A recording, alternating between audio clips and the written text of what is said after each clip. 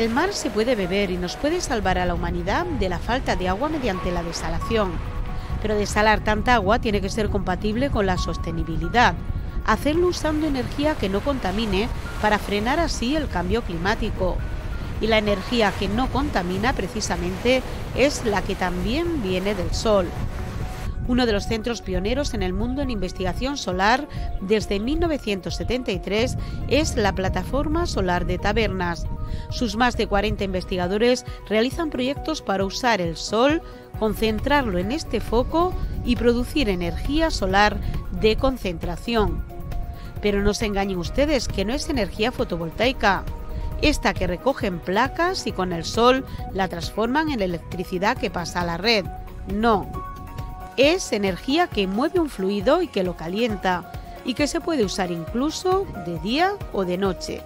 Así lo explica Lidia a los más de 5.000 visitantes que pasan cada año por la plataforma solar, colegios, institutos o turistas, incluso utilizando juguetes que ellos vean que la placa fotovoltaica pues directamente cuando le llega la radiación solar se mueve, hay un motor que se mueve.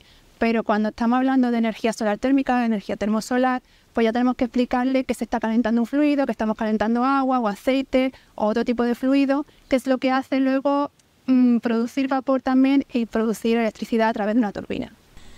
En la plataforma trabajan ahora para que haya plantas mixtas de desalación utilizando energía fotovoltaica y solar para el proceso. Lo han conseguido en laboratorio, ahora falta implantarlo a escala industrial. Las plantas térmicas solares utilizan además sales fundidas para almacenar el calor y así pueden generar electricidad de día o de noche. Se descarboniza la desalación haciéndola más limpia. Además, se hace el ciclo integral del agua. Se trata de que la energía, la energía adicional necesaria para la desalación provenga de fuentes renovables. Y ahí es donde la energía solar tiene que tener un papel importante porque en España pues tenemos muchísima radiación solar y por lo general en todos los países en los que hace falta desalación hay una abundancia de radiación solar que puede utilizarse para producir energía que se utilice en la desalación. Esta que ven ustedes es la planta desaladora Mar de Alborán. Todo lo tienen preparado para instalar a nivel industrial una planta fotovoltaica que dé electricidad para todo este proceso quedará su almuera, restos que se devolverán al mar, o incluso se aprovecharán minerales como litio o ácidos para su uso en agricultura.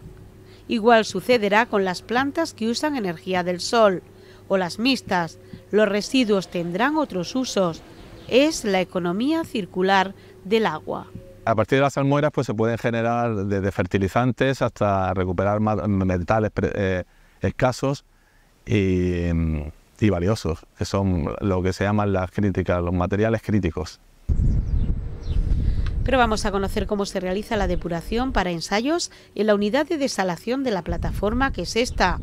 Por un lado espejos, por el otro otro tipo de espejos reforzados y tubos en los que se aplica la desalación. Lo que hacemos es, mediante colectores planos de agua caliente, como los que podemos tener en los tejados de las casas para tener agua en la ducha, agua caliente, con, ese mismo, con esos mismos aparatos, lo que hacemos es calentar un agua de pozo, un agua eh, dulce, eh, y eso nos va, a servir, como fluido de trabajo eh, lo llevamos a la planta desaladora, esas tuberías con ese agua que le hemos calentado con el sol y lo que hacemos es pulverizar un agua de mar el agua de mar encima de esas tuberías. Entonces, eh, cuando tocan esas tuberías, se calienta el agua de mar, evapora y obtenemos de esa forma pues, el producto que es el agua destilada. Una vez mineralizada, pues ya puede ser agua potable para, para los ciudadanos.